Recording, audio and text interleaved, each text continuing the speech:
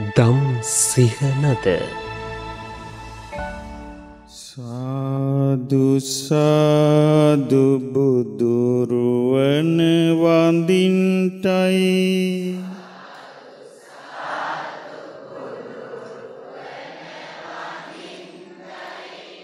සාදුසාදු සදහම් නමදින්ටයි.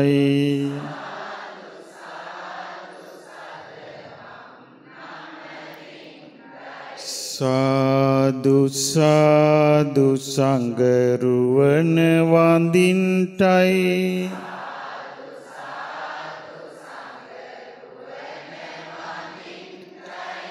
සාදුසාදු තෙරුවන් නමදින්ටයි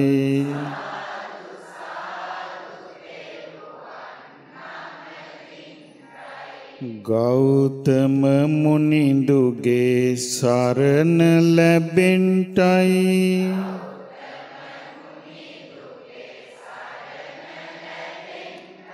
සම්බුදු බණපද මට සිහිවෙන්ටයි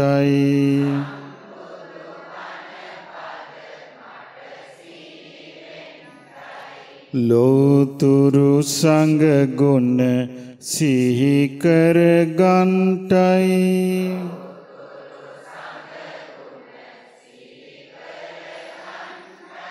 ගෞතම සසුනේ පිහිට ලබන්ටයි.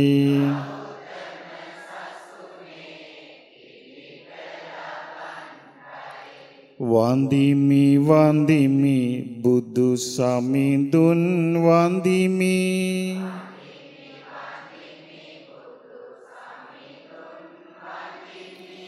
වන්දිමි වන්දිමි සිරි සදහම් වන්දිමි.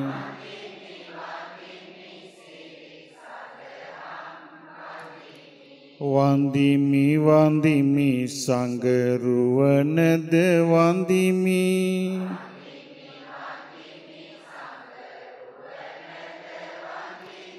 වන්දිමි වන්දිමි මම තෙරුවන් වන්දිමි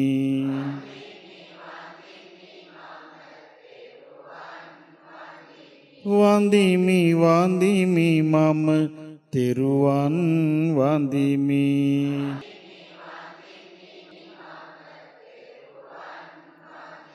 වන්දිමි වන්දිමි මම තෙරුවන් වන්දිමි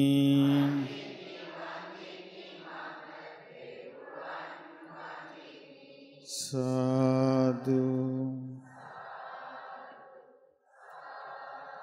ඒ භාග්‍යවත් අරහත්තු. අරහත්තු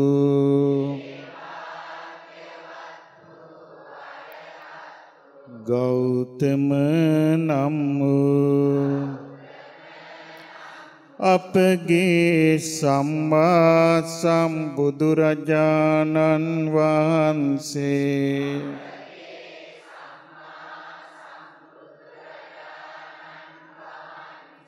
ඒකාන්ත වසයෙන්ම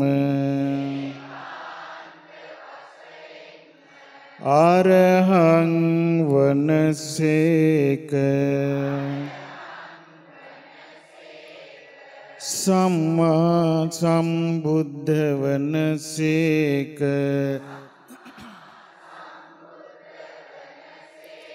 විජ්ජාචරණ සම්පන්න වනසේක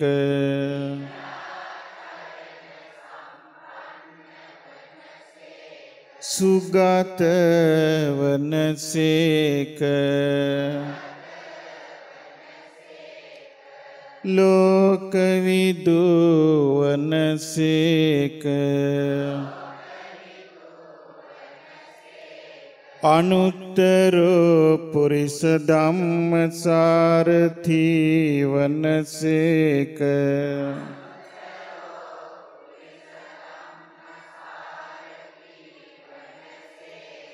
සත්තා දේව මනුස්සානං වනසේක.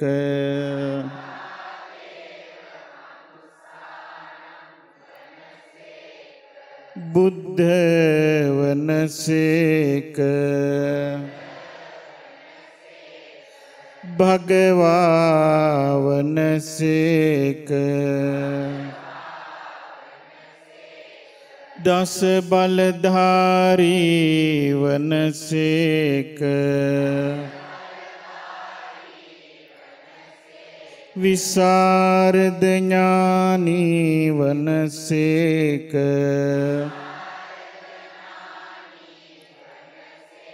මහාකාරුණික වනසේක.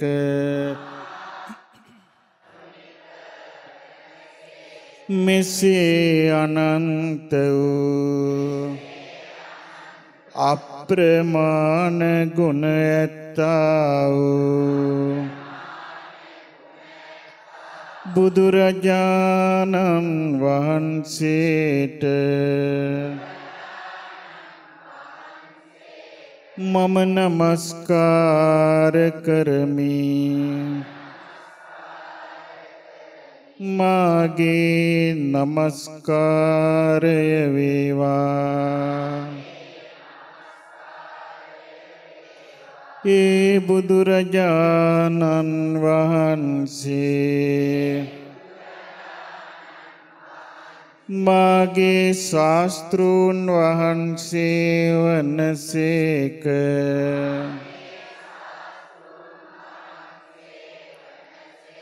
ඒ බුදුරජාණන් වහන්සේ. සාදර ගෞරවයෙන්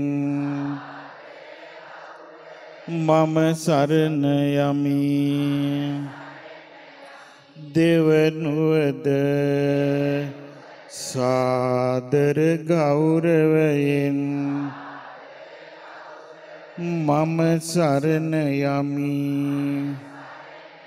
තෙවනුවද සාදර ගෞරවයෙන් මම සරණ යමි. සාදු සාදු සාදු. බුදුරජාණන් වහන්සේ විසින් දෙවිමිනිස් ලෝ සතුන් කෙරෙහි පතල මහා කරුණාවෙන් සතර සතිපට්ඨාන සතර ඉරිදිපාද සතර සම්යක් ප්‍රධාන වීරිය. පංච ඉන්ද්‍රිය ධර්ම. පංච බල ධර්ම. සප්ත බොජ්ජංග ධර්ම. ආර්ය අෂ්ටාංගික මාර්ගය යන සත්තිස් බෝධිපාක්ෂික ධර්මයන් මැනවින් වදාරන ලද්දේය.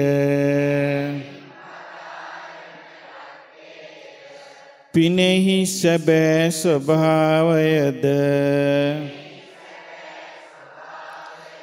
පවෙහි සැබෑ ස්වභාවයද? මැනවින් වදාරන ලද්දේය. ශ්‍රාවක ජනයාටද? අවබෝධය ලබා දුන්සේක ඒ උතුම් ශ්‍රී සද්ධර්මය. සතර අපාදුකින් මුදවන්නේය.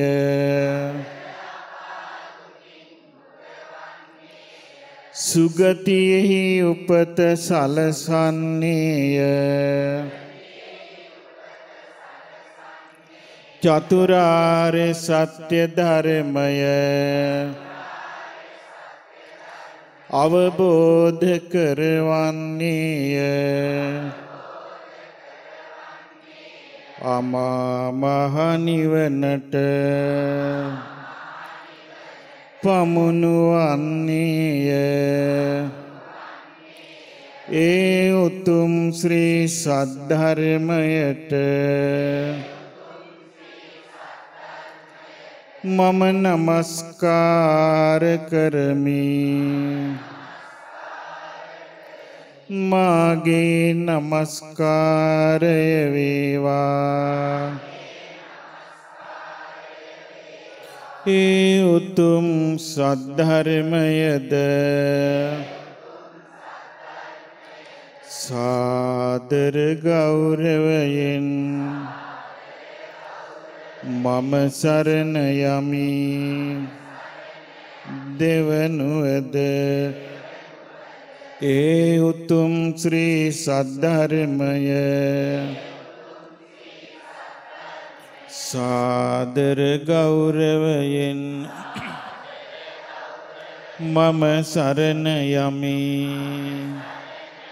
තෙවනුවද ඒ උතුම් ශ්‍රී සද්ධර්මය.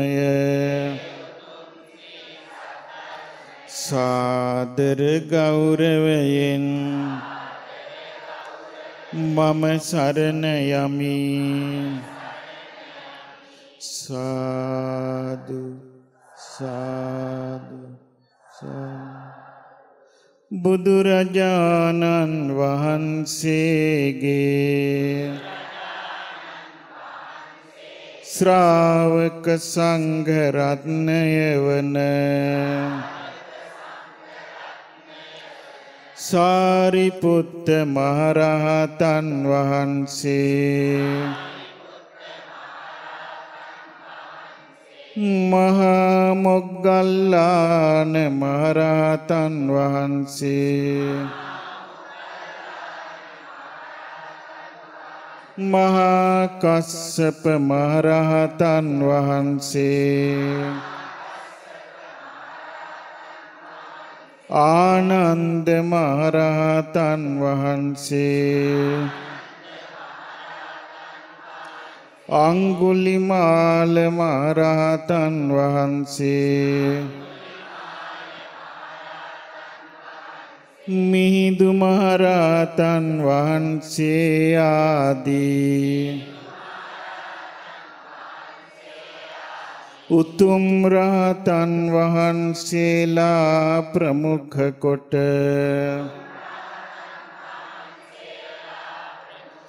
මාර්ග ඵලලාභී සැබෑ බුද්ධ පුත්‍රයන් වහන්සේලා ඒකාන්ත වශයෙන්ම සුපටිපන්න වනසේක උජුපටිපන්න වනසේක ඥායපටිපන්න වනසේක සාමීචිපටිපන්න වනසේක ඒ යුතුම් බුද්ධ පුත්‍රයන් වහන්සේලා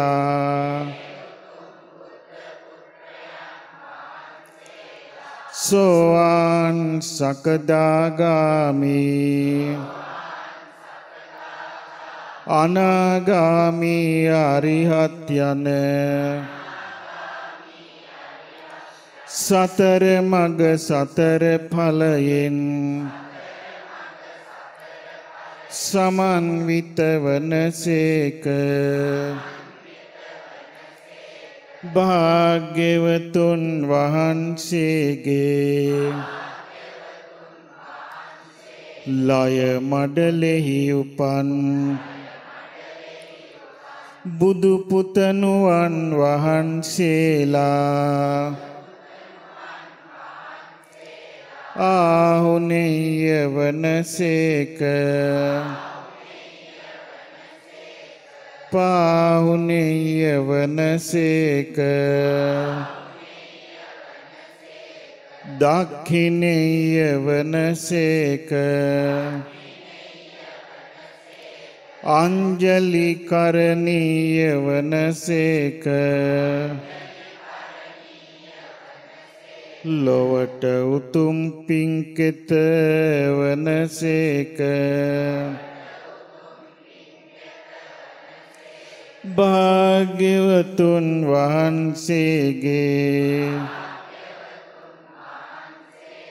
ඒ ශ්‍රාවක සංඝරත්නයට මම නමස්කාර කරමි. මාගේ නමස්කාරය වේවා. භාග්‍යවතුන් වහන්සේගේ ශ්‍රාවක සංඝරත්නය සාදර ගෞරවයෙන් මම සරණ යමි. දෙවනුවද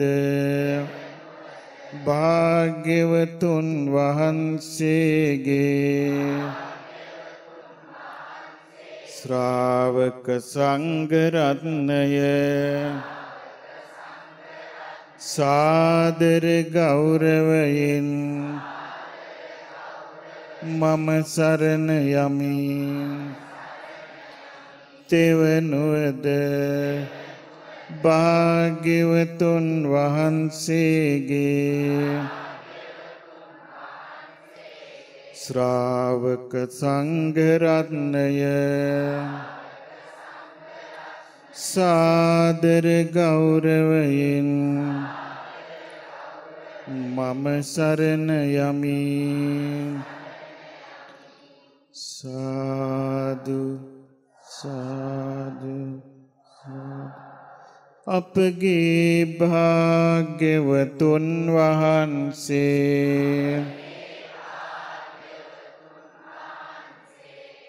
වජිරාසනය මත වැඩහිඳ. දසමාර සේනාවෙන් යුතු. මරු පරදවා උතුම් ශ්‍රී සම්බෝධියට පත්තුසේක අපගේ භාග්‍යවතුන් වහන්සේ දඹදිව් තලයේ ලුම්බිනී සල්වනයෙහිදී. මනුලොව උපන්සේක අප බුදුරජාණන් වහන්සේ. ශ්‍රී සම්බෝධිය ලබා. හතලිස් පස් වසරක් මුළුල්ලෙහි. දෙව්මිනිස් ලෝ සතුන්. සසර දුකින් මුදවා. අමා නිවන ලැබදුන් සේක. බුදුරජාණන් වහන්සේ. අසුවැනි වියෙහිදී. දඹදිව් තලයේ කුසිනාරානුවර උපවර්තන සල්වනයේ සල්රුක් දෙකක් අතරෙහි උතුරු දෙසට මුහුණලා පනවන ලද යහනේ සැතපී. පිරිනිවන් පාවදාලසේක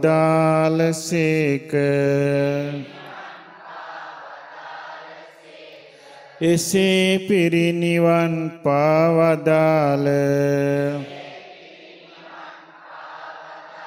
අපගේ භාග්‍යවතුන් වහන්සේගේ දෙතිස් මහා පුරිස ලකුණින් බැබලී ගියාව උතුම් බුදු සිරුර. රන් දෙනක තැම්පත් කොට රන් පියනකින් වසා සඳුන්දර සෑයට නැංවූසේක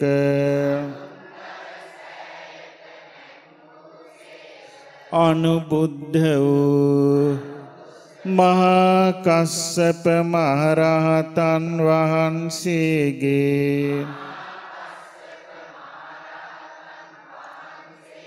අවසන් වන්දනාවෙන් අනතුරුව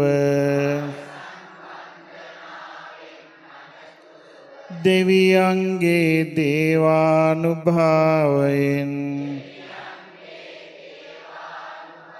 ඒ සඳුන් දරසෑයට ගිනියවිල ගත්තේය අහසින් ඇදහැලුණු සුවඳ පැන් වරුසාවෙන් දරසෑය නිවීගිය කල්හි. මහාකස්සප මහරහතන් වහන්සේ ප්‍රමුඛ.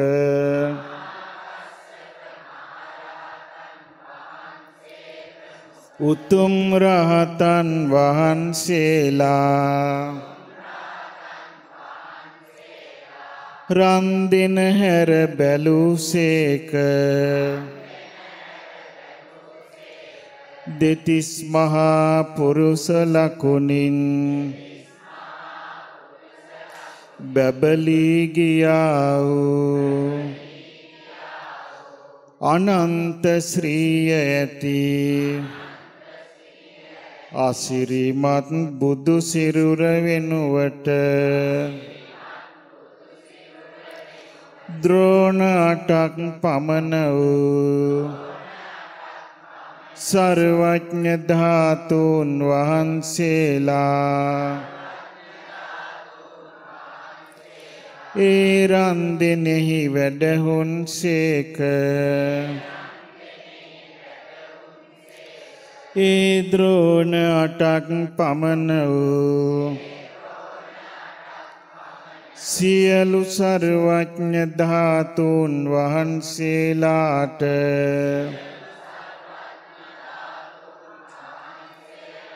මම නමස්කාර කරමි. මාගේ නමස්කාරය වේවා. මේ රන් සිවිගය තුල කරඬුවෙහි වැඩ සිටින්නා වූ උතුම් සර්වඥ ධාතුන් වහන්සේට මම නමස්කාර කරමි. මාගේ නමස්කාරය වේවා. අපගේ බුදුරජාණන් වහන්සේ. මහා කරුණාවෙන් යුතුව දෙවි මිනිසුන්ගේ හිතසුව පිණිස සම්බුදු බව ලබන මොහොතේදී සෙවන සලසාලු. ජයශ්‍රී මහා බෝධීන් වහන්සේට මම නමස්කාර කරමි. මාගේ නමස්කාරය වේවා. අපගේ සම්මා සම්බුදුරජාණන් වහන්සේ.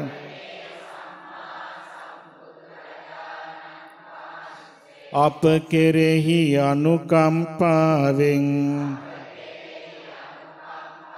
අපගේ මව්බිමට තුන්වරක්ම වැඩම කළසේක.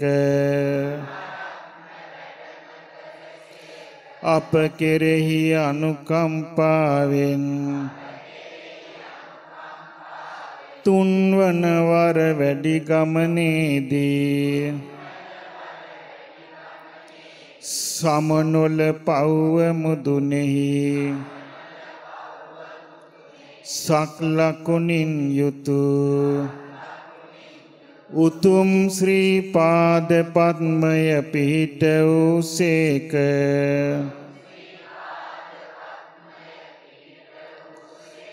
ඒ ශ්‍රී පාද පද්මයට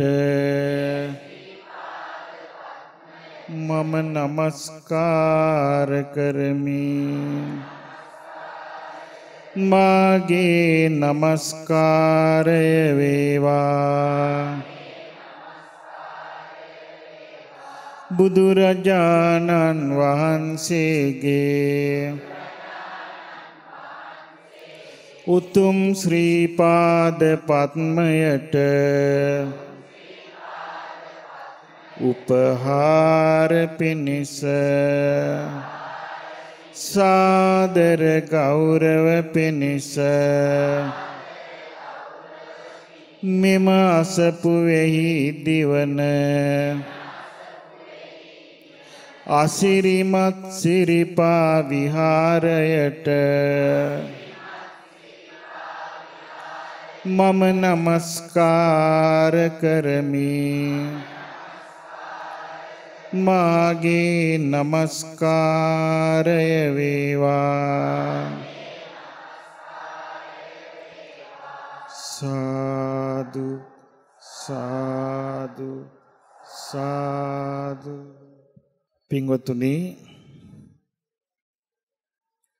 හෙට ලබන වෙසක් පුන් පොහෝ දවස ශ්‍රී බුද්ධ වර්ෂ 2562 අපගේ සම්මා සම්බුදුරජාණන් වහන්සේ පිරිනිවන් පාලා අවුරුදු 2562ක් සම්පූර්ණ වෙන දවසේ අප සියලු දෙනා දැන් සූදානම් වන්නේ බුදුරජාණන් වහන්සේගේ ගුණ සීකරලා අපි මේ පූජාවන් පවත්වන්නටයි විශේෂයෙන් අපි සතුටු වෙන්න ඕනේ පින්වත්නි අපට බුදුරජාණන් වහන්සේව සරණ යන්ට ලැබුණා.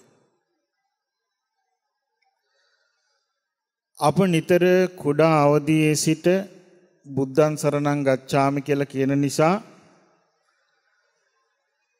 නිතර ඇහෙන නිසා සමහර විට අපිට මේ සරණ යෑමේ වටිනාකමක් තේරෙන්නේ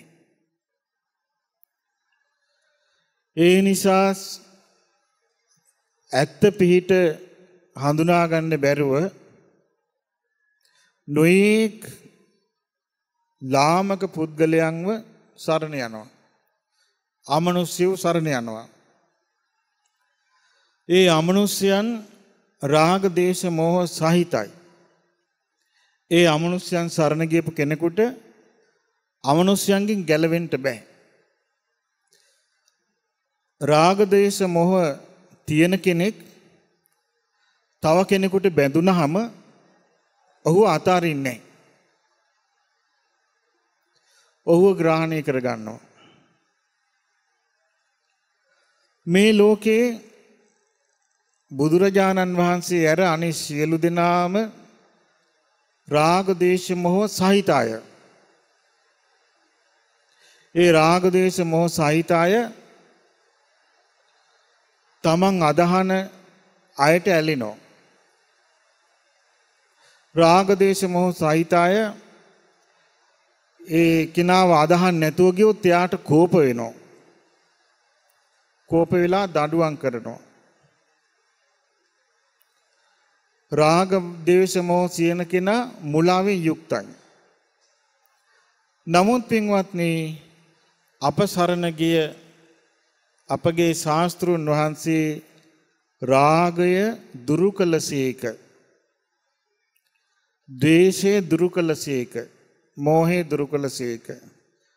ඒ නිසා බුදුරජාණන් වහන්සේට මේ පුද පූජාවල් පවත්වන්නේ උන්වහන්සේ පිරිනිවන් පාන්ට කලින් අදිෂ්ඨාන කළා මේ ධාතුන් වහන්සේලා මේ විදියට පවතින්න කියලා. ඒ කියන්නේ උන්වහන්සේගේ ධාතුන් වහන්සේලා දලදා වහන්සේලා හතර නම අකු ධාතුන් වහන්සේලා දෙනම ලලාට ධාතුන් වහන්සේ ඊළඟට අනිත් ශාරීරික අස්ති කැබලි වලට කැඩිලා ගියා. සහල් යට ප්‍රමාණි මුම් පියලි ප්‍රමාණි අබ ප්‍රමාණි කැඩිලා ගියා. දැන් මේ කරඬුවේ වැඩ ඉන්නේ අබ ඇටයක ප්‍රමාණි සර්වඥ ධාතුන් වහන්සේ නමක්. මේ සර්වඥ ධාතුන් වහන්සේලා වැඩ සිටින්නේ භාග්‍යවතුන් වහන්සේගේ අදිෂ්ඨානයෙන්. මේ සර්වඥ ධාතුන් වහන්සේලාට වන්දනාමාන කරලා ඒ පිම්බලෙන් සතර අපායට නොවැටි දෙවියන් අතරට උපදින්න සලස්සා ගණ්ඩයි අපට අපට සුගතියේ උපත සලස්සා දෙන්නයි මේ ධාතුන් වහන්සේලා වැඩ ඉන්නේ. එතකොට යම් කිසි කෙනෙක් හිත පහදවා ගත්තොත් මේ ධාතුන් වහන්සේලා කෙරෙහි ඒ හිත පහදවාගෙන ඉල්ල මෙයා පහදවා ගන්නවද නැද්ද කියලා භාග්‍යතුන් වහන්සේ බලාගෙන නැහැ. මේ කෙනා මට පහන් තියෙනවාද නැද්ද කියලා බලන් ඉන්නේ නැහැ. මේ කෙනා මට බුද්ධ පූජාව තියෙනවාද නැද්ද කියලා බලාගෙන නැහැ. එහෙම බලාගෙන ඉන්නේ කෙලෙස් සහිත අය. දැන් කෙලෙස් සහිත අමනුෂ්‍යයන්ට වැඳපු මිනිස්සු සරණ ගියා කිය කිය බොරුවට කිය කියා කෙලෙස් සහිත අමනුෂ්‍යයන්ට වැඳපු මිනිස්සු ඒ කෝණයෙන්ම තමයි බුදුරජාණන් වහන්සේ දිහා බලන්නේ. ඊට පස්සේ මේ මිනිස්සුන්ට පහන තියන්න බැරි වුණොත් ඒ මිනිස්සු බය වෙනවා. අනේ බුදු පහන තියන්න බැරි වුණා මට අනතුරක් වෙයි දන්නේ. ඒ මිනිස්සුන්ට බුද්ධ පූජාව තියාගන්න බැරි වුණොත් ඒ මිනිස්සු බය වෙනවා. අනේ මට බුද්ධ පූජාව තියාගන්න බැරි වුණා මේකෙන් මට අවඩක් වෙයි දන්නේ. මට පවක් වෙයි දන්නේ කියලා. මොකද හේතුව? අමනුෂ්‍යයන්ට පූජාවල් පවත්වන කෝණෙන් තමයි ඒ බලලා තියෙන්නේ.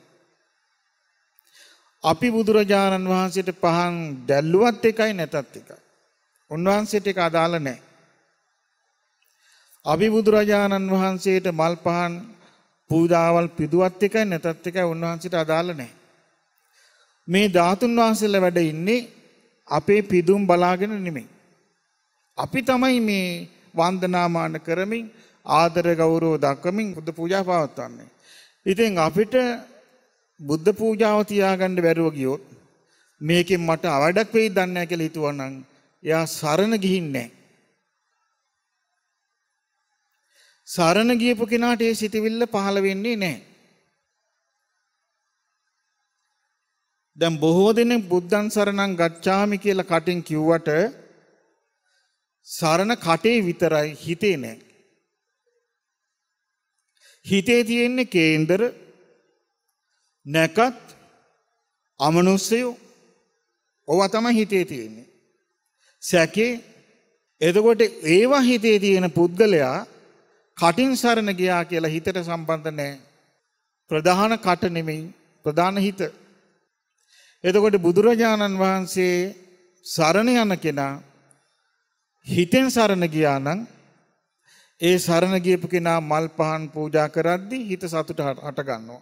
දැන් බලන්න බුදුරජාණන් වහන්සේ වෙනුවෙන් තමයි මේ අලංකාර විහාරය හදලා තියෙන්නේ. ඔබ දන්නවා ඇති බුදුරජාණන් වහන්සේගේ ලලාට ධාතුන් වහන්සේ තමයි නොවිසුරුණු ධාතුන් වහන්සේ ලලාට කියන්නේ නලල් තලේ.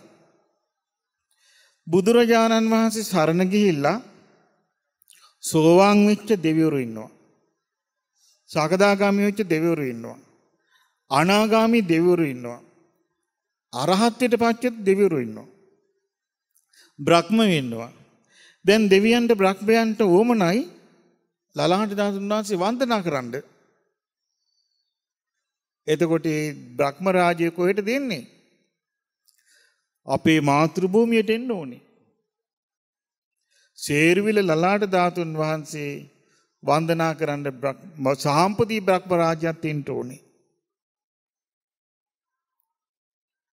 සක්දිවිදුත් එන්න ඕනේ ලලාට ධාතුන් වහන්සේ වන්දනා කරන්න. සතරවරන් දෙවරු එන්න ඕනේ. ඒ ධාතුන් වහන්සේ උදෙසා පළතුරු පූජාව කරපු ගමන් මේ බුද්ධං සරණං ගච්ඡාමි කිය කියා හිටපු කොටසක් කෑ ගහන්න ගත්තා. මොකටද ඔච්චර පුදන්නේ බුදුන්ට? මොකටද ඔච්චර පුදන්නේ කියලා. ඒ මිනිසුන්ට සරණ නැහැ. සරණ මාත්‍රයක් නැහැ. ආර්ය උපවාද කරගෙන සසරේ සතර අපායටපත් වෙනවා. ඔච්චරයි. දැන් බුදුරජාණන් වහන්සේට ගරුසරු දක්වන්න තමයි මේ දැන් මේ ධාතුන් වහන්සේලා ඇතා පිටින් වඩම්මලා පුද පූජාවල් ගරුසරු සහිතව වඩම්මන්නේ. ඊළඟට විහාරේ වඩා හිඳවන්නේ. මේ විහාරය දැකලා හිතුවොත් මොකටද මෙච්චර වීදම් කළ විහාරයක් හදන්නේ? තම තමන්ට වීදම් කළ ලස්සන ගෙවල් හදා ගන්නවා. තම තමන්ට ඉන්න. ශාස්ත්‍රුන් වහන්සේ වෙනුවෙන් හැදුවොත් බුද්ධං සරණං ගච්ඡාමි කියන කටින්ම ශාස්ත්‍රුන් වහන්සේගේ පූජාවට බයිනෝ.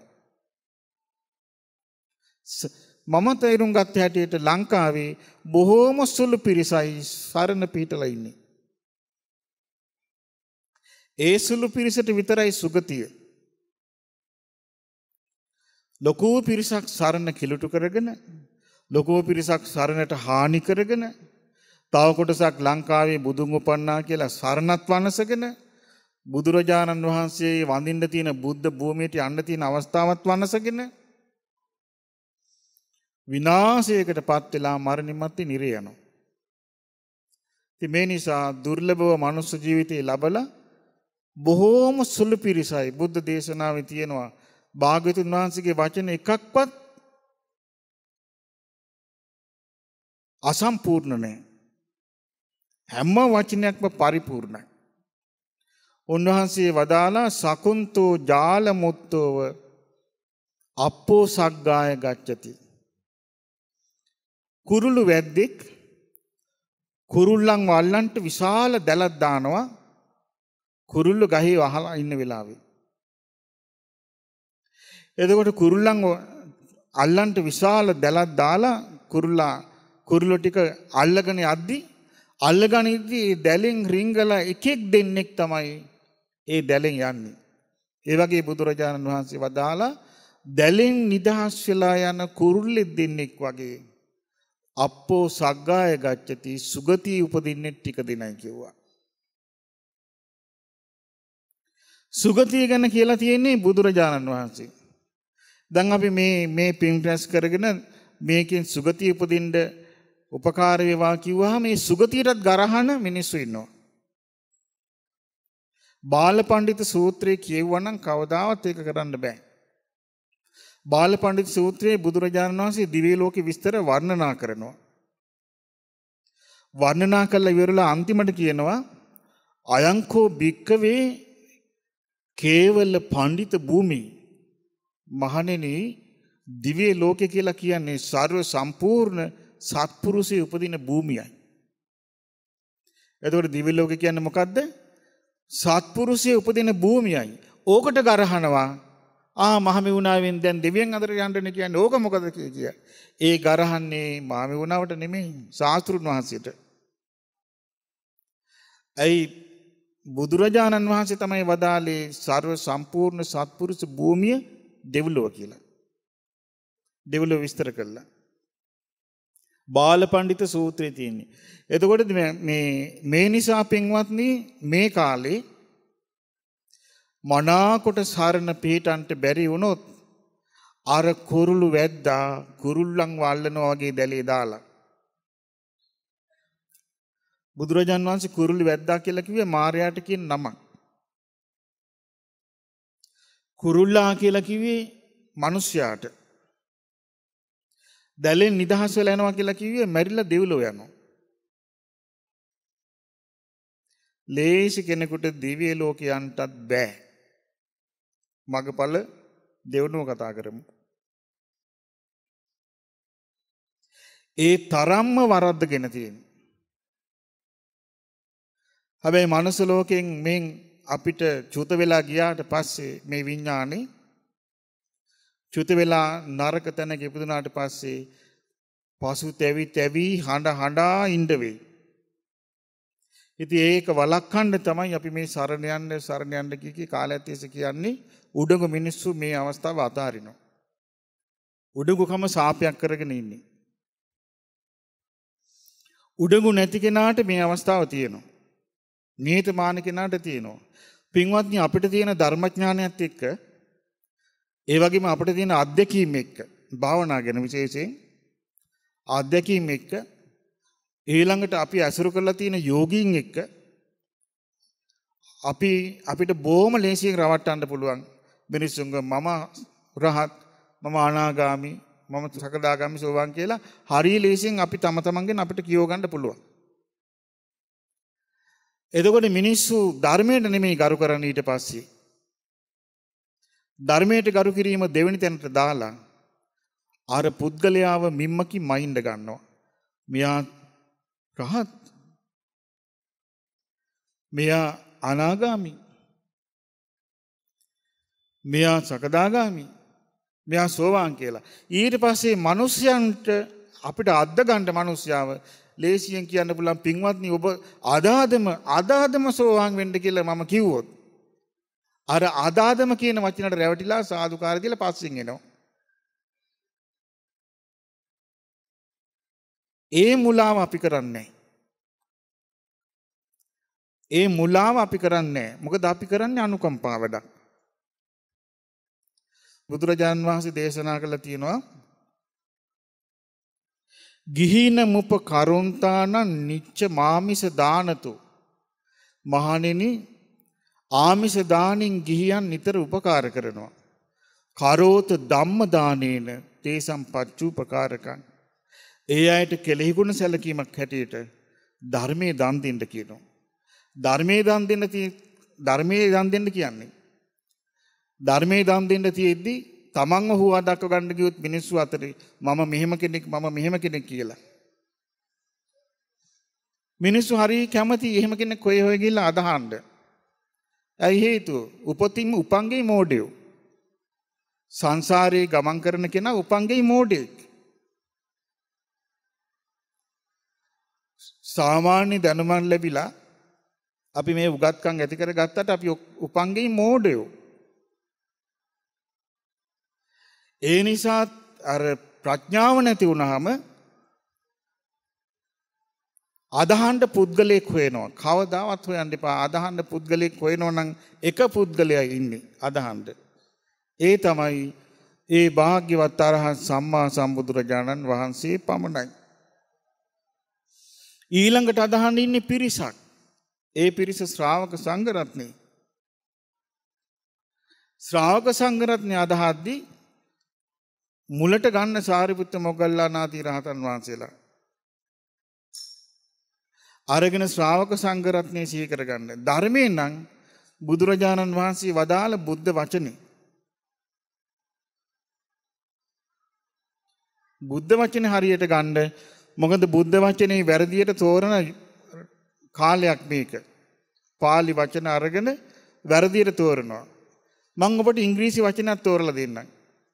අපි කියනවා අපි පොන්චි කාලේ ඉඳලා අපි දැන් අහලා තියෙන වචනයක් තියෙනවා පයිනපල්. පයිනපල් කියන්නේ පයිනපල් කියන්නේ මොනවද? අන්නාසි කෙනෙක් කියනවා මට අවබෝධ වුණා. ඕක නෙමෙයි වචනේ පයිනපල් කියන්නේ පයින් ගිහින් ඇපල් කනවා. අන්නේ විදිහට පාලි තෝරන පිරිසක් බිහි වෙලා ඉන්නවා. එතකොට මෝඩ කොල්ලෝ රෑනක් ඉන්නවා හිතාගෙන ඉන්නේ මේ අවබෝධයක් තමයි කියලා. ඊට පස්සේ ඒ පිරිස කී කී යනවා ධර්මයේ කියන්න ඕනේ මගපලලාභී කෙනෙක් විතරයි. අනිත් අය කියන ධර්මයේ වැදගත් නෑ කියලා. කිය කියා තමන්ගේ මගපල හුවා දක්ව ගන්නවා.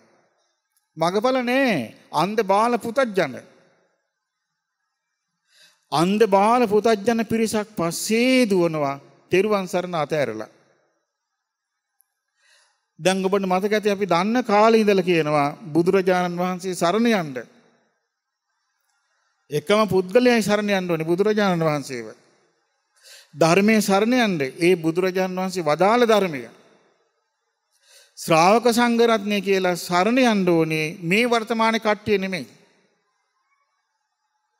සරණ යන්න ඕනේ සාරිපුත්ත මොග්ගල්ලාන ආදී උතුම් ශ්‍රාවක සංඝ රත්නයේ මේක හොඳට හිත පිහිටවා ගන්න බේරෙන්න නම් නැත්තම් බේරෙන්න බෑ දැල එලලා තියෙන්නේ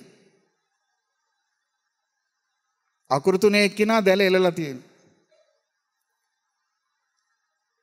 එතකොට මේ දැලෙන් ගැලවිලා කවුරු හරි ගියොත් මනාකොට සරණේ පිහිටපු එක්කිනා විතරයි ගැලවෙන්නේ. ඒ නිසා පින්වත්නි මේවා නිකම්ම නිකං විසිතුරු දේවල් හැටියට කල්පනා කරන්න එපා. බුදුරජාණන් වහන්සේ පහළ වුණා කියන්නේ අතිශයින්ම දුර්ලභ එකක්. හැබැයි මේ ආත්මේ තිසරණේ රැකගත්තොත් මේ ආත්මේ කුමක් රැකගත්තොත්ද? තිසරණේ රැකගත්තොත් වැරදි බනට අසු නොවි වැරදි පුද්ගලයන්ට හසු නොවි තිසරණේ රැකගත්තොත් හරියට පිහිටියොත් මෛත්‍රී බුද්ධ ශාසනයෙත් ඉඩක් තියෙයි. මේ ආත්මේ වරද්දගෙන ආය මනුස්ස ලෝකෙට එනකොට හම්බ වෙන්නේ බුද්ධ ශූන්‍ය කල්පයක්. බුද්ධ කියන වචනේවත් අහන්න ලැබෙන එකක් නැහැ. සත්පුරුෂ කල්යාණ මිත්‍ර කියන වචනේවත් අහන්න ලැබෙන එකක් නැහැ. සත්පුරුෂ කියන වචනේ අහන්න ලැබෙන්නේ. අසත්පුරුෂ ගොඩේ අසත්පුරුෂ තැනක උපදී. එච්චර භයානකයි මේක. ඒ නිසා පින්වත්නි හොඳට මතක තියාගන්න මේ කාලේ මහා එක්කිනා නැත්තම් කියනවා නම් මාර්යා දැල එලලා තියෙන. ඔක්කොම අල්ලනවා. තෙරුවන් සරණේ පිහිටපු එක්කිනා විතර බේරේ. අනිත් අය කෙරේ අපිට කරන්න දෙයක් නෑ. ඉතින් ඒ නිසා ඒ බඳු තත්වයක් මේ මනුස්ස ලෝකයේ තියෙනවා. බුද්ධ ශාසනයේ අතුරුදහන් වෙලා ගියාට පස්සේ දැන් ඔන්න දැන් ඔන්න බලන්න කල්පනා කළා මිනිස්යන් තුළ නැති ප්‍රශ්නයක් හැදුවා. මොකද්ද ලංකාවේ බුදුන් උපන්නා කියලා. මිනිසුන්ට නැති අර්බුදයක් හැදුවා. ඊට පස්සේ ඒක තහවුරු කරන්න එක එක කතන්දර ගොතන්න ගත්තා. මිනිස්සු දෙකට බෙදලා වාද කරනවා. මාර්යා එක ගලෙන් දෙන්නෙකුට ගහනවා. එක ගලෙන් දෙන්නටම වදිනවා. අපූරුවට ධර්ම කතාවේ කර කර හිටියා. මිනිස්සු ලස්සන තිසරණයට පැමිණි පැමිණි හිටියා. ඇවිල්ලා කියන්න ගත්තා නෑ නෑ නෑ සෝවාන් වෙන්නවත් ඕනි බණ කියන්න නැත්තම් බෑ. ආර්ය පුද්ගලයෙක් වෙන්න ඕනි බණ කියන්න, ධානවත් ලබන්න ඕනි බණ කියන්න කියලා පට්ටපල් බොරු කියන්න ගත්තා. බුද්ධ වචන වල නැති ඒවා. පාලි වචනේ උපුටා දක්වලා ඒ පාලියේ නැති අර්ථයක් සිංහලෙන් කියනවා.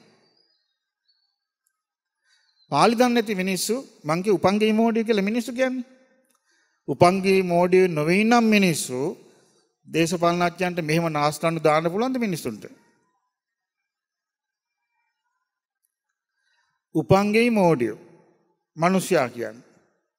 ඉතින් ඒ නිසා නුවණක්කාරයෙක් වෙන්න නම් බුදු කෙනෙකුගේ ධර්මයක්ම අහලා හිත පහදවාගෙන තමන්ට යෝනිසෝ මනසිකාරයේ යෙදෙන්න දන්නේ නැත්තම් හිත පහදවාගෙන මේ සරණේ පිටලා ඉන්න ඕනේ.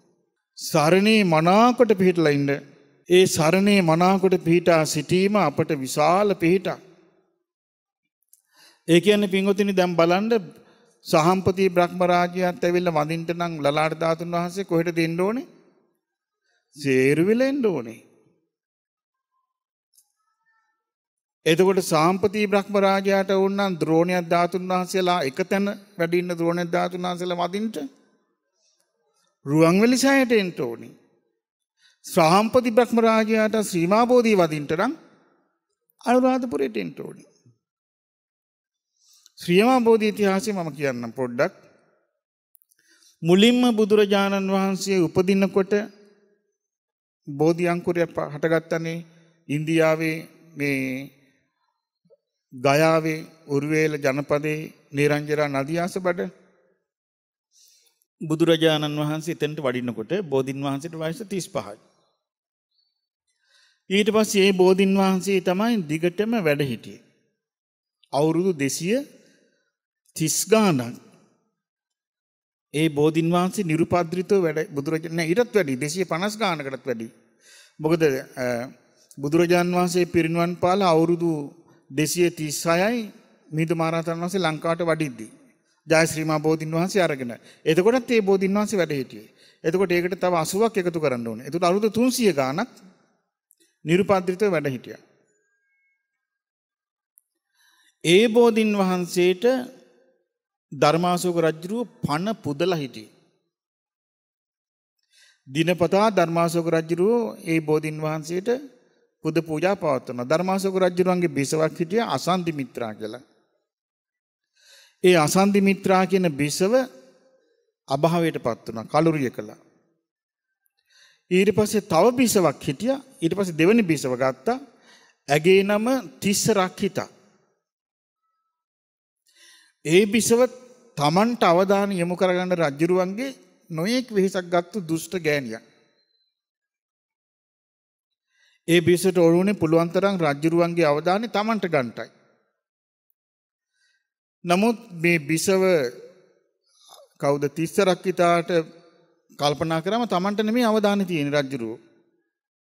ජයශ්‍රීමා බෝධින් වහන්සේට පැටනා ඉඳලා පැටනා කියන්නේ පාටලිපුත්‍ර පාටලිපුත්‍ර ඉඳලා බුද්ධ ගයාව දක්වා පාර හදලා දෙපැත්තේ මල් පළතුරු අවලා පැම්පකුණු හදලා කෙලින් පාරක් තිබුණා ඒ රාජධානිය. එතකොට රජ්ජුරුව නිතර නිතර එන්නේ බෝධීන් වහන්සේ වඳින්න බෝධීන් වහන්සේ මගේ මගේ කියාගෙන. රජතුමා හිටියේ. අශෝක අධිරාජය.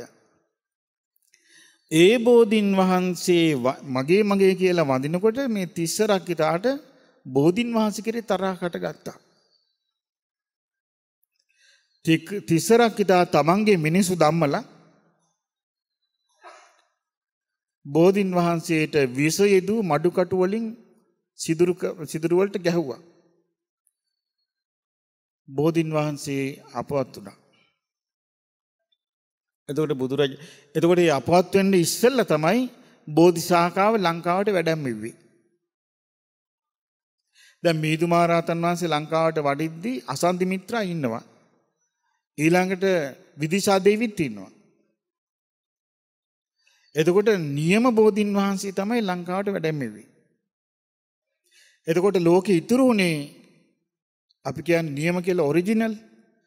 ඒ ඔරිජිනල් බෝධීන් වහන්සේ ඉතුරුනේ අනුරාධපුරේ විතරයි. එතකොට අවුරුදු 300ක් විතර බෝධීන් වහන්සේ එතකොට වයසයි. ඒ බෝධීන් වහන්සේව තිස්සරක් හිතා මඩුකටු ගස්සලා විස සහිත බෝධීන් වහන්සේ අපවත් වුණා. ධර්මාශෝක රජුරෝ දැනගත්ත මේ සිද්ධිය දැනගෙන ආණ්ඩ ආණ්ඩා බෝධින් වහන්සේ ළඟට ඇවිල්ලා බෝධින් වහන්සේගේ පොළව කිරිවලින් නෑව්වා. කිරිවලින් නෑව්වාම ධර්මාශෝක රජුරු බලාගෙන ඉඳිද්දි බෝවංකුරය පැන නැග්ගා. ඒ බෝධින් වහන්සේ වැඩ හිටියා අවුරුදු 1000ක් වගේ කාලයක්. දෙවෙනි බෝධින් වහන්සේ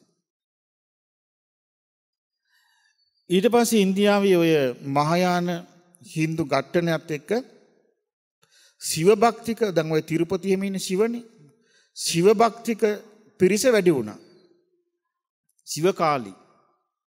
ඒගොල්ලෝ අසුර තුනුරුවන්ට ජම්මන්ත වෛර. දැන්ව අපේ මිනිස්සු යන්නේ පූජාවල් අරගෙන. තුනුරුවන්ට ජම්මන්ත වෛර.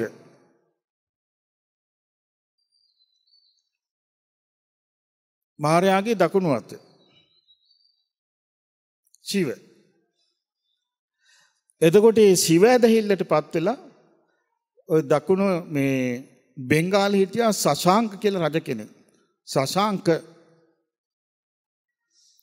සසාංක කියන රජ්ජුරුවන්ගෙන් රජ්ජුරුවන්ට බ්‍රාහ්මණය කිව්වා ඉන්දියාවේ බුද්ධ ශාසනය අතුරුදහන් කරන්න නම් බෝධිය වනසන්ට මෝනි කිව්වා. එතකොට රජ්ජුරුව මොකද කළේ ඒ බෝධීන් වහන්සේ ළඟට ඇවිල්ලා ඒ බෝධීන් වහන්සේගේ මුල ඉඳලා උදුරලා ගිනි තිබ්බා. බුද්ධ ගයාවේ වජිරාසනයේට සෙවන සැලසූ බෝධීන් වහන්සේගේ අනතුරු ගොඩක් අය දන්නේ මේ කාලේ නම් මිනිසුන්ට ශ්‍රද්ධාවක් නැති ගානයි.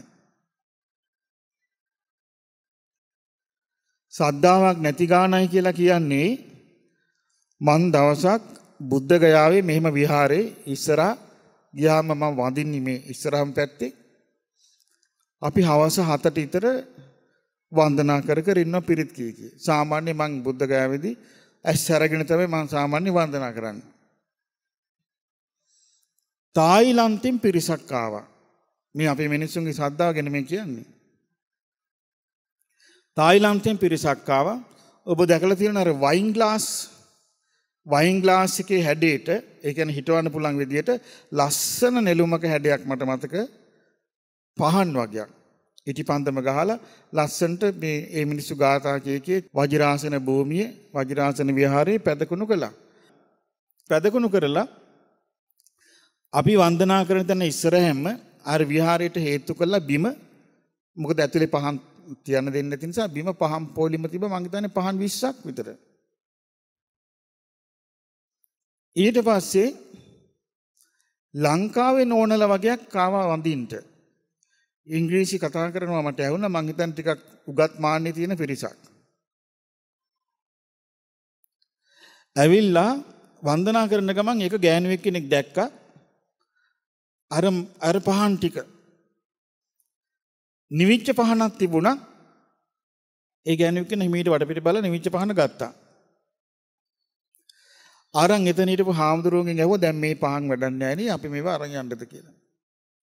අනිත් ගෑනු ටික එක්කන් ආවා තා පිරිමිත් ආවා අර බුදුරජාන් වහන්සේට පූජා කරපු දැල්ලි දැල්ලි විදිවිච්ච පහන් ටික කටින් පිබලා නිවගෙන නිවාගෙන නිවාගෙන ගියා ගිහිලා අර ඔක්කොම අරගෙන ගියා.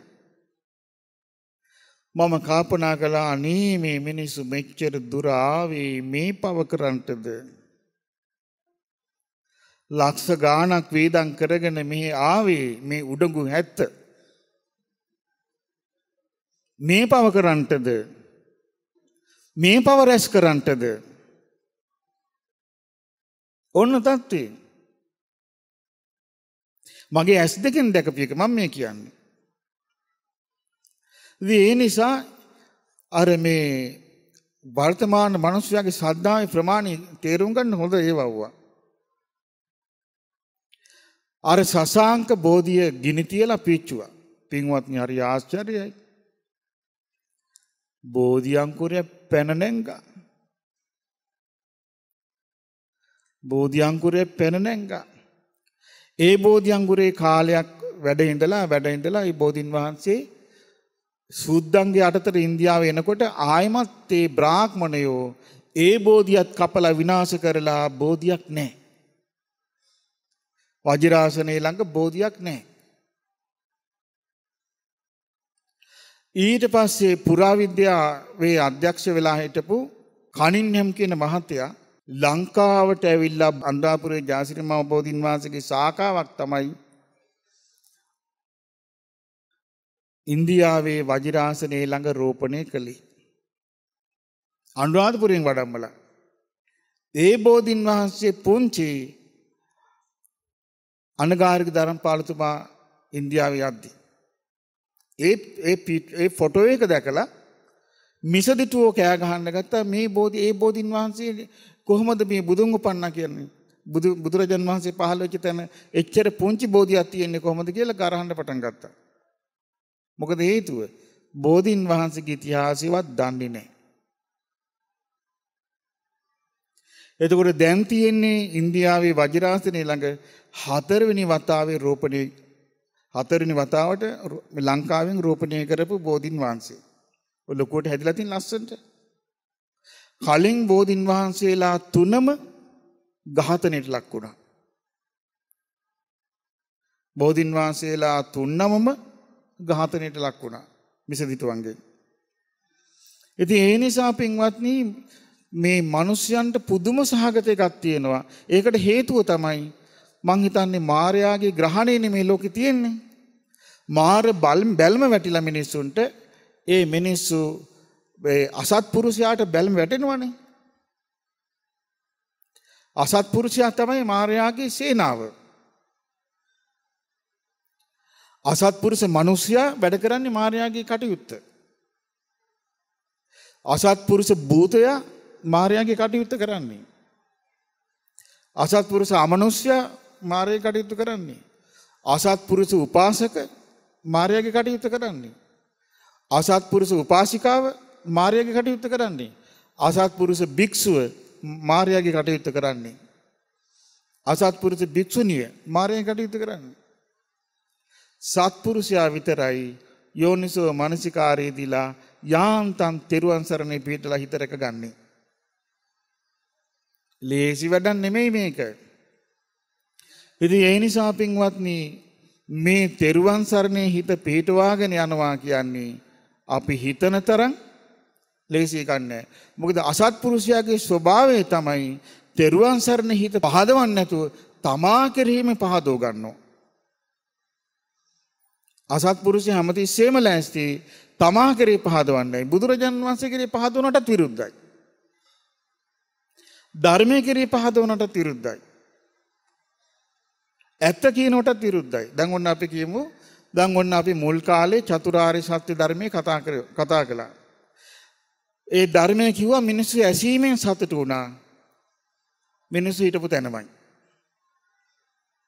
ඇසීමෙන් සතුටු වුණා. හිටපු තැනමයි. ඊට පස්සේ කල්පනා කරලා බැලුවම් පස්සේ මිනිස්සුන්ගේ නුවණ මෙහෙවන්න හැකියාව නැහැ. ඒකනේ හිටපු තැනම ඉන්නේ. ඊට පස්සේ මගේ ළඟ මහාන වෙච්ච අය ගත්තොත් ඊට වඩා භයානකයි. ඒ අය ලෑස්ති වුණා එකතු වෙලා මේක වනසන්න. දන්නවනේ කට්ටිය ප්‍රශ්න ඔක්කොම. ඉතින් ඊට පස්සේ කල්පනා කරාම මට තේරුණා මේ බොහොම පිම්මදි.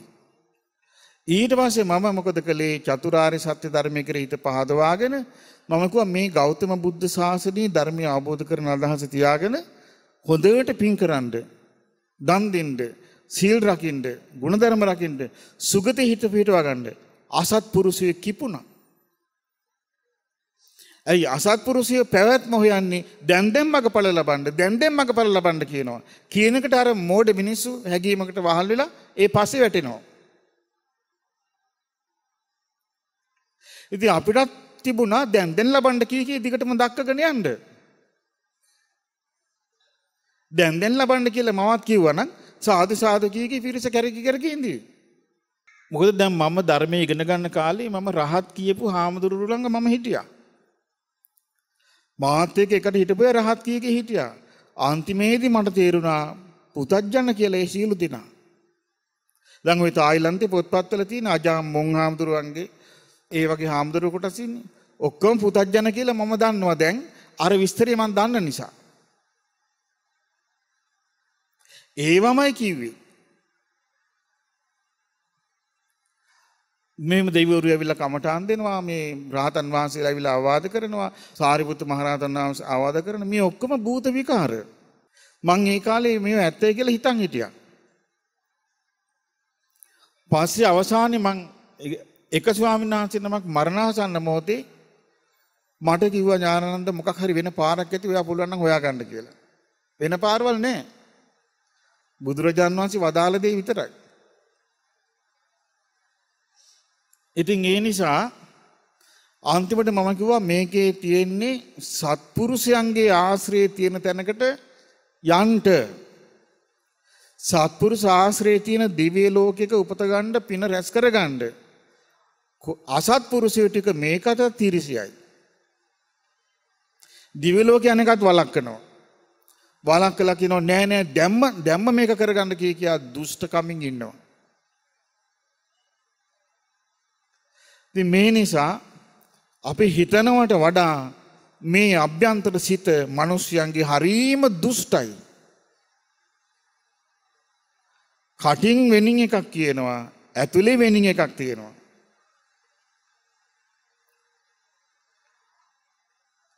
එතකොට අභ්‍යන්තර දුෂ්ටකම නිසා සුගතියට යන එකත් වළක්වනවා. සුගතිය ගිහිල්ලා කොහොමද කරන්නේ? මහමෙවුනාවෙන් ඉස්සර කිව්වේ කොහොමද? දැන් කොහොමද කියන්නේ කිය කියා ආර අපහදෝනෝ. අපහදෝලා සුගතියට යන්න තියෙන එකත් නැති කර නැති කරනවා. අපිටත් තිබුණා ඉස්සර කියන එකම කියාගෙන යන්න මේ බැරි බව පෙනිපෙනි. මං කල්පනා කළේ ඒකනේ මට නම් තියෙන අනුකම්පාවක්.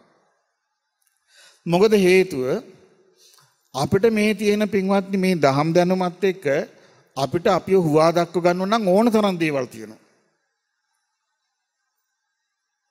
දිව්‍ය ලෝක සම්බන්ධයෙන්, යෝගීන් සම්බන්ධයෙන්, භාවනා සම්බන්ධයෙන් ඕන තරම් දේවල් තියෙනවා. හුවා දක්ව ගන්න ඕන නම්. ඒක අදාළ නැහැ. ඒක ඔබට අදාළ නැහැ. ඔබට අදාළ බුදුරජාණන් වහන්සේ ගුණ හඳුනාගෙන සරණ යාම. ඔබට අදාළ ධර්මයේ සරණ යාම. ඔබට අදාළ ශ්‍රාවක සංඝරත්නයේ සරණ යාම. ඒ අදාළ දේ හඳුනා නොගත්තොත් රවුමක් ගහලා වැටෙනවා. හැබැයි වැට නවතින්නේ නිරේ. නවතින්නේ නිරේ. නිරේ නවතින්න නම් අපි මේ මනුස්ස ලෝකෙට ඇවිල්ලා මනුස්ස ජීවිතේ સમાપ્ત වෙන්නේ නිරෙන් නම්. ඒක අභාග්‍ය නැද්ද? අවාසනාවද නැද්ද? මේ ලෝකේ හැමතැනම මගේ රාග දේශ මොහ තියෙන ලෝකේ ඇති. ඒ නිසා පින්වත්නි මේ බුදුරජාණන් වහන්සේ සරණ ගිහින් ධර්මයේ සරණ ගිහින් ශ්‍රාවක සංඝයා සරණ ගිහින් සරණේම හිත පිහිටවගෙන ඉන්න. ආයේ දිව්‍ය ලෝකේ පතන්න දෙයක් නැහැ. මම දිව්‍යයන් අතරට යනවා කීකේ පතන්න දෙයක් නැහැ. සරණේ මනාකොට හිත පිහිටවාගෙන ඉන්නකොට එයා ටික ටික සිල්වත් වෙනවා. සත්පුරුෂ වෙනවා. හැබැයි සත්පුරුෂ ධාතුව හිතේ තිබුණොත් සරණ පිහිටනවා. දැන් අපි මනුස්ස ලෝකෙට ඇවිල්ලා ඉන්නවනේ. අපේ තියෙනවා එක එක ධාතු ස්වභාවය. ධාතු ස්වභාවය තියෙනවා මේ අසත්පුරුෂයාට අසත්පුරුෂයා ඇදිලා යනවා. සිල්වතාට සිල්වත ඇදිලා යනවා. දෙබිඩි චරිත තියෙන කෙනාට දෙබිඩි චරිත තියෙන කෙනාට ඇදිලා යනවා. ඍජු මිනිස්සයා ඉන්න තැනට ඍජු මිනිස්සයා ඇදිලා යනවා. වංචනික මිනිස්සයා ඉන්න තැනට වංචනික එක්කෙනා ඇදිලා යනවා. ආන් ඒ වගේ ධාතු ස්වභාවයක් තියෙනවා. එතකොට සත්පුරුෂ ධාතුව තියෙන එක්කෙනා තෙරුවන් සරණේ පිහිටනවා. එතකොට සත්පුරුෂ ධාතුව තියෙනවද නැද්ද කියලා අපිට හොයන්න තේරෙන්නේ නැහැ. හැබැයි තෙරුවන් සරණේ මනාකොට පිහිටා හිටියොත් ඍජු සිතෙන් තෙරුවන් සරණේ පිහිටා සිටින්න ඕනේ කොහොමද? ඍජු සිතෙන් ඕන දෙයක් අතාරින්න පුළුවන් වෙන්න ඕනේ තෙරුවන් සරණේ මනාකොට පිහිටලා. අපේ ඍජු සිත නැති වෙච්ච ආකාරය මම චුට්ටක් කියන්නම්. සුදු අධිරාජ්‍යවාදීන් අපේ රට යටත් කර ගන්නකම්ම අපි හිටියේ රජෙකුගේ යටතේ. අවසාන කාලේ අපිට අවංක සිංහල බෞද්ධ රජෙක් හිටියේ නෑ. ඒ නිසායි රජ්ජුරුවන්ව පොළඹෝලා රජ්ජුරුවන්ව බේබද්දෙක් කරන්නට සුද්දු උපක්‍රම කළා කළා. ඊට පස්සේ ඒ රජ්ජුරුවෝ ඇහැලේ පොළගේ දරුවෝ මරණ එකට අස්සම් කරද්දී ඉඳලා තියෙන්නේ සිහියෙන් නෙමෙයි. එච්චර බීලා හිටපු වෙලාවක තමයි අස්සන අරන් තියෙන්නේ. එහෙම කළා සිංහලයන්ට රාජාණ්ඩු විපා කෙරෙව්වා. ඊට පස්සේ සුද්දන්ගේ යටතට සිංහලේ වැටුණා. ඊට පස්සේ 1800 ගණන් වල මේ ඊස්ට් ඉන්ඩියා කම්පැනි කියන සමාගමක් තමයි අපි යටත් කළේ. ඊට පස්සේ අපේ රුහුණ තමයි ඔය මඩකලපු අම්පාර මේ මේ ද- ඒ පැත්තේ ඉඳලා දකුණට රුහුණ රුහුණ සිංහලයෝ හිටියේ වෙල්ලස්ස කැරළේදී රුහුණ විනාශ කළා මුස්ලිම් අයට ඒ පැත්ත දුන්නා. ඊට පස්සේ ජනයා විනාශ වෙලා ගිහලා අපිට හැබ- හැබෑ මාගම අයිමි වුණා. ඇත්ත මහගම තියෙන්නේ ඒ පැත්තේ. ඔය මුදුමා විහාරය තියෙන ඒ පැත්තේ තමයි තියෙන්නේ. ඇත්- ඒ මාගම්පුර. ඒ කාලේ තේවතු වල වැඩ කරන්න සිංහලයන්ට කම්කරු හැටියට එන්න සුද්ධ කතා කළා. සිංහලය කිව්වා අපි වැඩ කරන්නේ නැහැ කිව්වා මේ, අ, කාටවත් දාසකම් කරන්න. ඊට පස්සේ සුද්ධ තීරණය කළා තේවතු වල වැඩට පිටරටින් මිනිස්සු ගේන්න. මුලින්ම තීරණය කළේ චීනෙන් ගේන්න. චීන ගේන්න වියදම වැඩි. ඊට පස්සේ දකුණු ඉන්දියාවෙන් ගෙන්නවා. ඒ මිනිස්සු තමයි දකුණු ඉන්දියාවේ මිනිස්සු රාමායනය කියෝක හිටිය මිනිස්සු. ඒ මිනිස්සු ඒ පලාතර එන්නකොට මොකද වල් වැදිච්ච වනාන්තර තමයි ඒ කොට කොට ඔක්කොම තේවතු හැදුවේ. රාමායනය කියකේ මිනිස්සුන්ට කිව්වා වරිල ලංකා යන්න කියලා ලංක රාමණ රාමායන කියපු ලංකාව ගැන හිතන් හිටියේ ඇවිල්ලා ඒ දෙමළ මිනිස්සු තමයි ඒ පළාතවල නන් දාන්න ගත්තේ සීතායලී රාවණැල්ල කිය කී. එහෙම තමයි මේ පළාතේ නං හැදුනේ. එතකොට පුරාවිද්‍යාව කැඩීම් කරන්න බෙල් මහත්තයා ලංකාවේ මිනිසුන්ට කතා කරාම ලංකාවේ සිංහල බෞද්ධය කිව්වා හාපෝ අපට බෑ කිව්වා බුදුරජාණන් වහන්සේට අයිති භූමියේ අපට නම් හාරන්න බෑ කිව්වා. සුද්දන්ගේ කාලේ සුද්ද ලංකාව අපිට දීලා යනකොට සිංහලයෝ නිදන් කඩනවා. සිංහලෝ චෛත්‍ය බිඳිනවා. කොච්චර පරිහානියක්ද? එදා සිංහලයෝ තේවත්තක වැඩ කරන්න අසතුරු වුණා. සුද්දෝ රට දීලා වැඩි කල් ගියේ නෑ. අපේ ගෑනු ගිහිල්ලා මැද පෙරදිග ගිහිල්ලා කක්කුසි හොදනවා. දැක්කද වෙනස? ඒ කක්කුසි හොදන රස්සාවට මෙහි ඇමතිවරුත් පත් කරනවා. පුළුවන් තරම් යව- යවනවා කක්කුසි හොදන්න. නැද්ද දැන් ඒ තත්ත්වේ? නීච වෙලා. ඒ නීච මනසට තිසරණ යන්නේ. අභිමානවත් හිත වනසගත්තු මනසට ඊට පස්සේ ඕනම ජරා බහුභූතයෙක් ගාව ඇඳ- වැඳ වැටෙනවා. පිහිට හොයාගෙන. නායකයෝ ඉඳලා. සරණ නැහැ. දැක්කද කොතු කඩුනට පස්සේ වෙනදී. ඉතින් ඒ නිසා නැත්තර නැතිවෙච්ච ජාතියකට තියෙන එකම පිහිට මනාකොට සරණය පිහිටීමයි. අපට නැගී හිටින්න පුළුවන් මොකද අපිට රජෙක් ඉන්නවා. තෙරුවන් සරණ පිහිටපු ශ්‍රාවකයාට රජෙක් ඉන්නවා. ඒ රජා තමයි සක්දිවිඳු. සක්දිවිඳු ළඟට යන්න නම් සප්ත ව්‍රතපද සමාදන් වෙන්න ඕනේ. සමාදන් වෙලා පුරුදු කරගෙන තමයි යන්න තියෙන්නේ. ආන් එහෙම කරගත්තොත් අපිට බේරෙන්න පුළුවන්. සුගතියට යන්න පුළුවන්. මනුස්ස ලෝකෙට ඇවිල්ලා කට ඇරලා බුද්ධං සරණං ගච්ඡාමි කියලා කියපු එකේ ප්‍රතිඵල ලබන්න පුළුවන්. එහෙම නැතුව මේ යන රැල්ලේ ආර්යෝපවාද කරගෙන යන රටාව නම් ඇඟහිරි වැටෙනවා. මේ මිනිස්සු ආර්යෝපවාද කරන හැටි දැක්කහම. ඇඟහිරි වැටෙනවා. එච්චර බය හිතෙනවා තුනුරුවන්ට ගරන හැටි දැක්කහම. කතා කළොත් කියන්නේ මේ ඉක්මනට මගපල ලබන්න ලබයි. මෙලෝ පරලෝ දෙකම වනස ගන්නවා.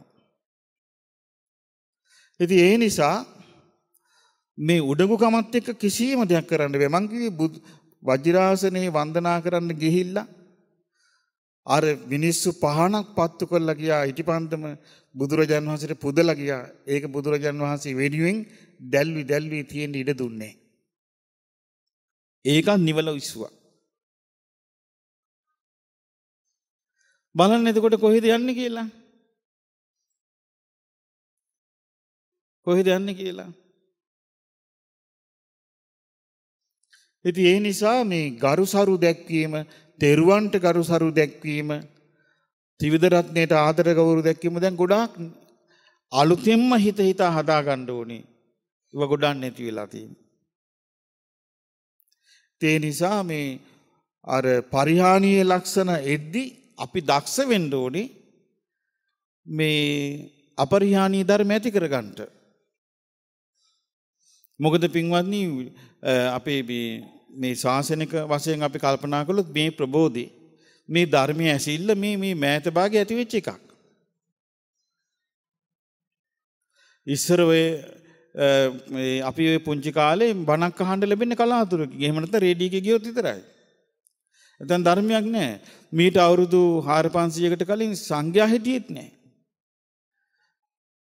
ගණින්නාන්සලාගේ යුගයක් තිබ්බා. උපසම්පදා භික්ෂුවක් දකින්න නැති. බණපදයක් මුකුත් දන්නේ නැති යුගයක් තිබ්බා. මිනිස්සුන්ට ඒ මුකුත් මතක නැහැ. මතක නැහැ නෙමෙයි මුකුත් දන්නේ නැහැ. උපසම්පදා භික්ෂුවක් නැති කාලයක් තිබුණා. ජාතක පොත් වහන්සේ තමයි සමහර අවස්ථාවලදී මේ පන්සල්වල මේ දොරට හේතු කරලා තිබිලා තියෙන්නේ. ඒ පුස්කොළ පොත්. එහෙම යුගයක් තිබ්බා. මේ බොහොම මෑතක ඇති වෙච්ච ප්‍රබෝධයක් මේ තියෙන්නේ. දැන් මිනිස්සු අපෙන් අපිත් එක්ක වාද කරන්න එනවා බුදුරජාණන් වහන්සේ වදාළනේ ප්‍රතිපත්තිය දිකට මේ දෙන්න රහතුන්ගේ හිස් නෑ කියලා. මේ වෙච්ච දේ දන්නේ රටට. ඒ උඩඟු මිනිස්සුන්ට ඉතුරු වෙන්නේ උඩඟුකම විතරමයි. ඇත්තනම් දකින්න හම්බ වෙන්නේ. ඉතින් ඒ නිසා පින්වත්නි මේ සරණේ මනාකොට පිළිටනවා කියන්නේ අපි බොහෝම අපිට උතුම් දෙයක්. කවුරුත් කියන්න සිතේ ඇති හැම කෙලෙස් වනසා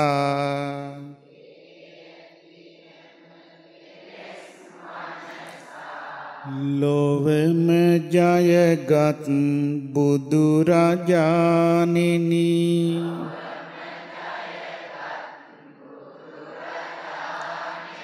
බිම්බරක් දස මාරසේනා.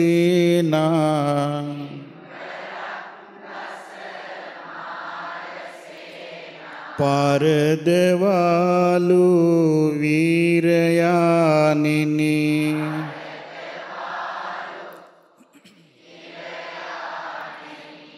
දෙව් මිනිස් ලොව සියලු දෙනහට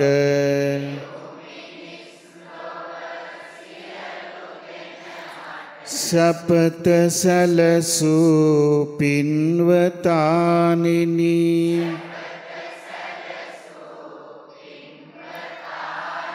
දෑත නලලේ තබා වඳිනා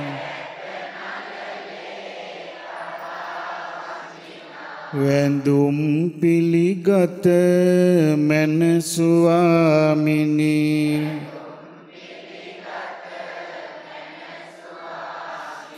වාඩිවී වජිරාසනේ මත.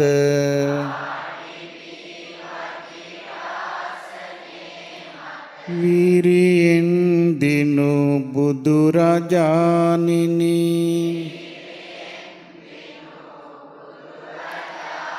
සීල සංවර සිත් සමාහිත.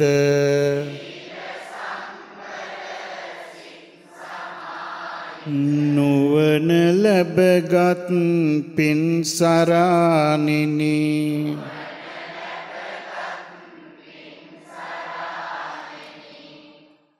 විහිදුවා ෂඩ්වරණ බුදුරැසුම්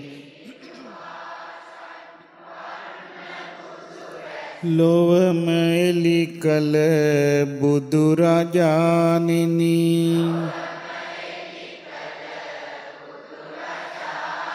දෑත නලලේ තබා වඳිනා වැඳුම් පිළිගත මැනසුවාමිනී.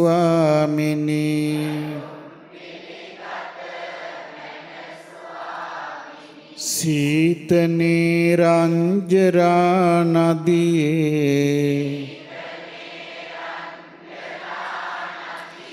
පැනින් සැනසුන පින්වතානිනි.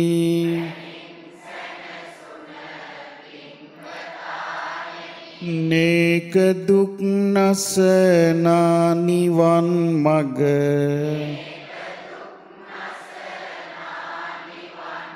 සොයාගත් මහා පැනවතානෙනි.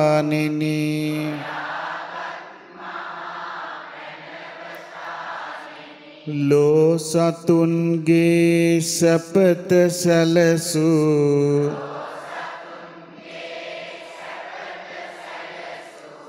මහාකරුණා බුදුරජාණෙනි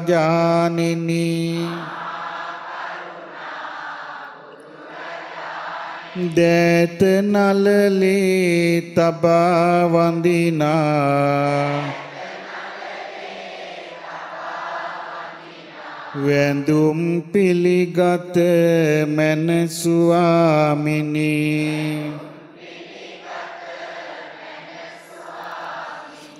බොහෝ දුර සිට පැමිණියෙමු අපි.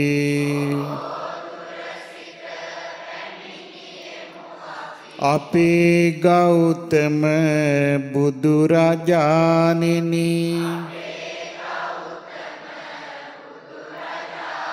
ඔහේ සසරේ ඇවිද ගිය අපේ. පිහිට ලැබුවෙමු දම් රජානිනි කෙසේවත් නැහැ බැහැරවන්නේ.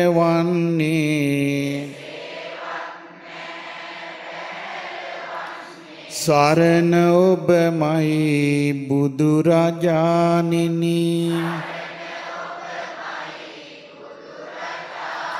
දෑත නලලේ තබා වඳිනා.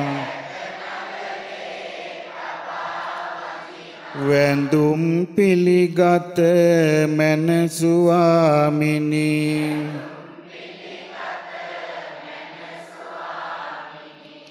මල් පහන් හා සුවඳ දුම්හා සිසිල් පැන්හා මේගිලන් පස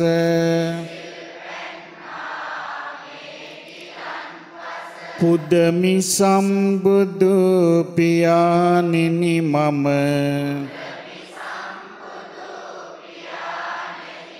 පතාගෙන ඒ අමනිවන්සුව සිතේ අහපත් ගුණ වැඩේවා.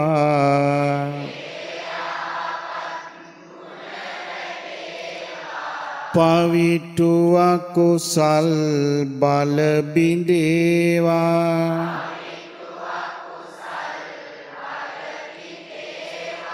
සිල් සමාහිත නුවන මතුවී. නිවන් මගමා සිත රැඳේවා. කලන මිතුරන් ඇසුර සැලසී. ලොවී ලෝතුරු දම් ඇසේවා සදාකාලික සැපත සදනා.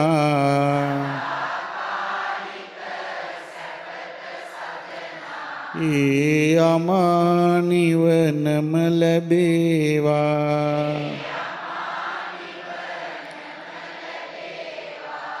සාදු සාදු සාදු